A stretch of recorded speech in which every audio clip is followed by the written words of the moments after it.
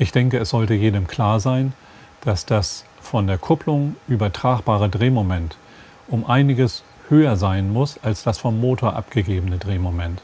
Sonst würde ja bei jeder kleinen Störung, also Feuchtigkeit auf den Belegen, die Kupplung sofort durchrutschen und sich selbst zerstören.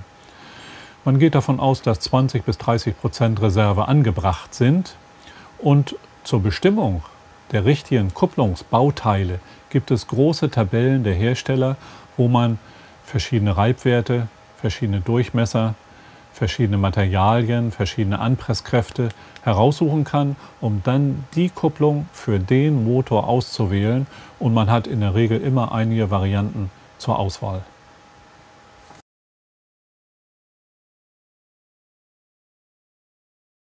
Wie ist eine Mitnehmerscheibe aufgebaut?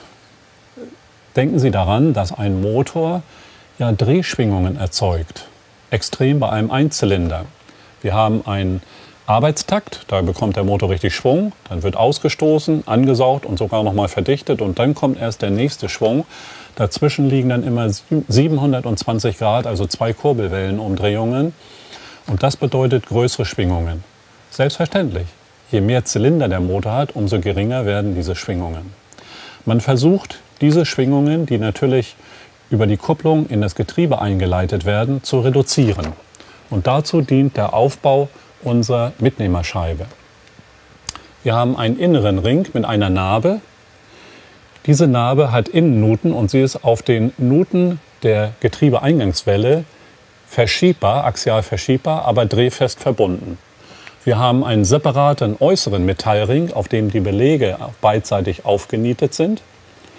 Und diese beiden Ringe, der äußere und der innere, die sind, wenn ich alle Elemente demontiere, sind sie beide lose, hängen sie nur zusammen. Tatsächlich aber werden sie verbunden mit den Torsionsfedern und wenn sie sich jetzt verdrehen wollen gegeneinander, dann wirken diese Torsionsfedern als Dämpfungsglied. Da Federn auch kein großes Eigendämpfungsverhalten haben, sitzen zwischen diesem inneren Ring und dem äußeren Ring auch noch so etwas wie Reibscheiben und diese, ja, diese Schwingungen, die dort noch auftreten, auch noch mal zu dämpfen.